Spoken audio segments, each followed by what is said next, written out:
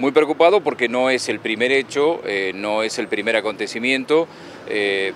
hay una sucesión de cuestiones como las amenazas que, la propia municipalidad ha sufrido de eh, tener que evacuar permanentemente el edificio, los bancos, entidades comerciales, eh, una ola que, preocupa sobre todo porque no se ha avanzado demasiado en el esclarecimiento. Uno recuerda que esto pasó en, algunas otras épocas, en algún momento pasaba en las escuelas, este, hasta que por ahí se, descubrió y se cortó, eh, pero nos preocupa. Ahora, esto,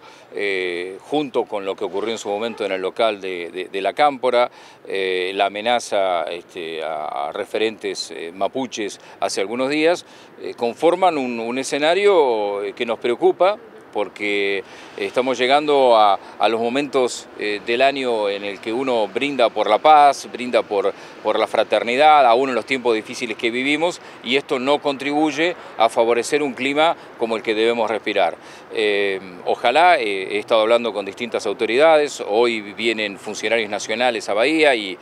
vamos a tener una reunión, voy a recibir a algunos de ellos este, este mediodía, como para solicitar, como lo hice con el tema de la cámpora, yo con el tema de la cámpora hablé con la ministra de Seguridad entonces, hablé con el número 2, hablé con el referente, eh, me dijeron que para ello era muy importante esclarecerlo. Bueno, eh, lamentablemente, eh, quizá quizá el esclarecimiento, el no esclarecimiento de aquel hecho este, derive en que tengamos esto, por eso no, nos preocupa. ¿Qué opina con respecto al tema de la justicia? ¿Esta demora de resolver un caso y ya viene otro y se sigue Bueno, eh, sabemos que los tiempos de la justicia este, a veces no son los que nosotros necesitamos, obviamente no deja de preocupar porque eh, de, muchos años eh, sé perfectamente que lo que no se esclarece en los dos, tres días siguientes a un hecho es más difícil es más difícil. Y ha pasado bastante y la verdad que no veo ningún avance respecto del tema de, la cámpora y ahora tenemos este. Eh, es para preocuparse, porque esta ciudad, nuestra ciudad, tiene historia de, violencia, tiene historia de bombas, tiene historia de víctimas